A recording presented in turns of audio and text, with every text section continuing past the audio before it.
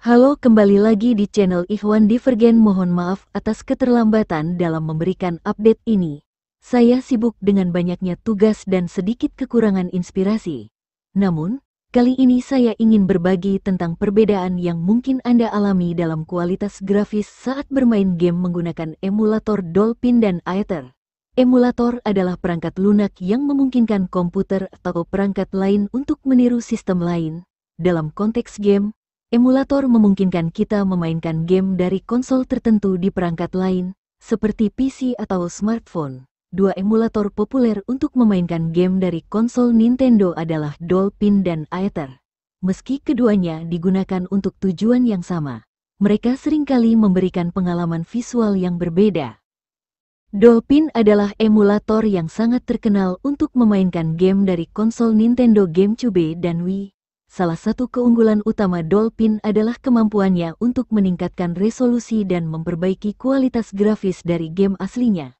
Emulator ini mendukung resolusi hingga 4K dan fitur-fitur seperti anti-aliasing dan anisotropic filtering yang dapat membuat grafis game terlihat jauh lebih halus dan lebih detail daripada versi asli di konsol.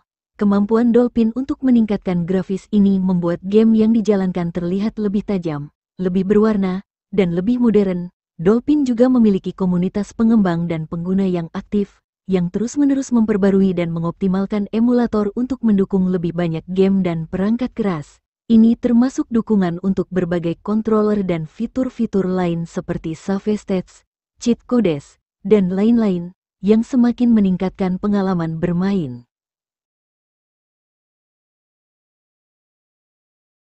Di sisi lain, Aether adalah emulator yang lebih baru dan kurang dikenal dibandingkan Dolphin, meskipun Aether memiliki kemampuan untuk menjalankan game dari konsol Nintendo, performa grafis yang ditawarkannya sering kali tidak sebanding dengan Dolphin, Aether mungkin masih dalam tahap pengembangan atau tidak memiliki fitur optimasi grafis yang sama canggihnya dengan Dolphin, seperti dukungan untuk resolusi tinggi atau fitur grafis lanjutan lainnya. Akibatnya, game yang dijalankan di Aether mungkin terlihat lebih burik atau kurang tajam dibandingkan dengan di Dolphin. Ini bisa disebabkan oleh beberapa faktor, termasuk kurangnya dukungan untuk peningkatan grafis, optimasi yang kurang untuk perangkat keras tertentu, atau sekadar kurangnya sumber daya pengembangan yang tersedia untuk emulator ini. Faktor lain yang mempengaruhi kualitas grafis ada beberapa faktor lain yang juga dapat mempengaruhi kualitas grafis saat menggunakan emulator, terlepas dari perangkat lunak yang digunakan. Spesifikasi perangkat, kualitas grafis dan performa emulator sangat bergantung pada spesifikasi perangkat keras Anda. Prosesor yang lebih cepat, GPU yang lebih kuat, dan lebih banyak RAM dapat meningkatkan kemampuan emulator untuk menangani game dengan grafis yang lebih tinggi. Pengaturan emulator Kedua emulator biasanya memiliki berbagai pengaturan grafis yang dapat disesuaikan. Pengaturan ini bisa sangat mempengaruhi kualitas gambar.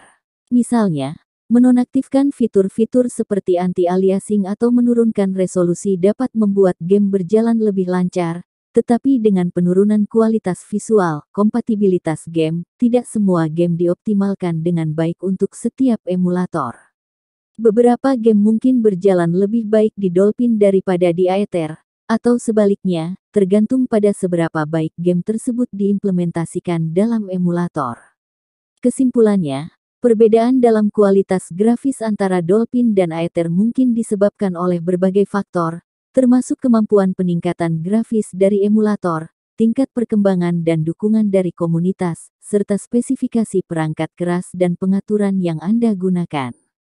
Jika kualitas grafis adalah prioritas utama Anda, Dolphin saat ini tampaknya menjadi pilihan yang lebih unggul dibandingkan Aether. Namun, kedua emulator terus berkembang, dan pengalaman Anda dapat berubah seiring waktu dengan pembaruan dan peningkatan baru.